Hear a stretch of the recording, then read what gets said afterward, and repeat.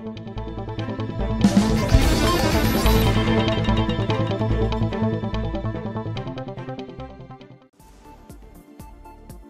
News channel ਦੇ ਵਿੱਚ ਤੁਹਾਡਾ ਸਵਾਗਤ। ਬਟਾਲਾ 'ਚ ਗੁਰਦਾਸਪੁਰ ਬਾਈਪਾਸ ਚੌਂਕ ਤੇ ਮੋਟਰਸਾਈਕਲ ਤੇ ਟਰੱਕ ਦੀ ਟੱਕਰ।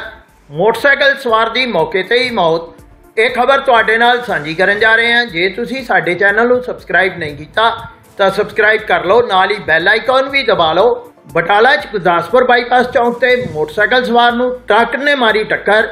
ਮੌਕੇ ਤੇ ਪਹੁੰਚੇ ਮ੍ਰਿਤਕ ਲਖਵਿੰਦਰ ਸਿੰਘ, ਉਮਰ 45 ਸਾਲ ਦੇ ਭਰਾ ਮਨਦੀਪ ਸਿੰਘ ਨੇ ਦੱਸਿਆ ਕਿ ਉਸ ਦਾ ਭਰਾ ਪਿੰਡ ਮਿਆਣੀ ਦਾ ਰਹਿਣ ਵਾਲਾ ਹੈ ਅਤੇ ਬਟਾਲਾ ਆਪਣੇ ਕਿਸੇ ਕੰਮ ਦੇ ਕਾਰਨ ਆਇਆ ਸੀ, ਵਾਪਸ ਜਾਂਦੇ ਸਮੇਂ ਇਹ ਹਾਦਸਾ ਵਾਪਰ ਗਿਆ। ਉਸ ਦੇ ਭਰਾ ਲਖਵਿੰਦਰ ਸਿੰਘ ਦੀ ਮੌਤ ਹੋ ਗਈ ਹੈ ਤੇ ਉਹਨਾਂ ਨੂੰ ਇਸ ਹਾਦਸੇ ਬਾਰੇ ਫੋਨ ਤੇ ਹੀ ਇਤਲਾਹ ਮਿਲੀ ਸੀ।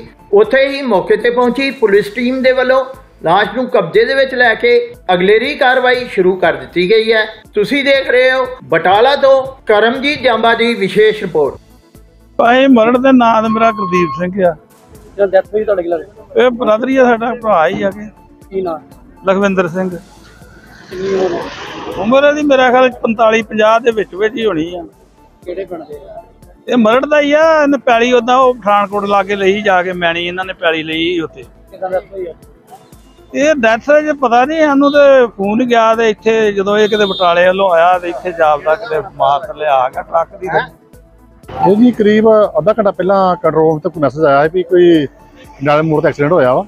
ਹੁਣ ਪਤਾ ਮੌਕੇ ਤੇ ਪਹੁੰਚੇ ਆ ਤੇ ਵੇਖਿਆ ਵੀ ਲਖਵਿੰਦਰ ਹੈਗਾ ਜੀ ਲਖਵਿੰਦਰ ਸਨ ਆਫ ਹੈਗਾ ਜਰਨੈਲ ਸਿੰਘ ਪਿੰਡ ਕਾ ਮਿਆਣੀ ਇਹ ਬਟਾਲੇ ਬਟਾਲੇ ਇੱਥੇ ਆਇਆ ਸੀ ਤੇ ਬਟਾਲੇ ਤੋਂ ਵਾਪਸ ਪਠਾਨਕੋਟ ਨੂੰ ਜਾ ਰਿਹਾ ਸੀ। ਤੇ ਜਦੋਂ ਮੋੜ ਇੱਥੇ ਮੋੜ ਕ੍ਰਾਸ ਕਰਨ ਲੱਗਾ ਤੇ ਇਧਰੋਂ ਕਿ ਅਨਸਤਾ ਵਹੀਕਲ ਟਰੱਕ ਦੱਸ- ਦੱਸਦੇ ਆ ਉਹ ਸਾਈਡ ਮਾਰ ਗਿਆ ਵਾ। ਉਹਦੇ ਦਾਣੇ ਦੀ ਮੌਕੇ ਮੌਤ ਮੌਤ ਹੋ ਗਈ। ਇਹ ਮੋਟਰਸਾਈਕਲ ਤੇ ਹਾਂਜੀ। ਇਹਦੀ ਉਮਰ ਕੋਈ ਅਹ, 45 ਕੁ ਸਾਲ ਕਰੀਬ ਹੈਗੀ ਆ? ਜੋ ਇਹਦੇ ਵਾਰਸ ਆ ਗਏ ਆ। ਜੋ ਬਿਆਨ ਲਿਖਾਉਂਦੇ ਬੰਦੇ ਕਾਨੂੰਨੀ ਕਾਰਵਾਈ ਕਰਨ ਲਈ ਲੈਂਦੀ ਹੈ ਜੀ ਨਹੀਂ, ਅਜੇ ਟਰੱਕ ਵਾਲੇ ਨੇ ਪਾਰਟੀਆਂ ਗਈ, ਮਗਰ ਗਈਆਂ ਗਈਆਂ, ਮੁਲਾਜ਼ਮ ਗਏ ਆ, ਭੇਜੇ ਆ। ਦੇਖੋ।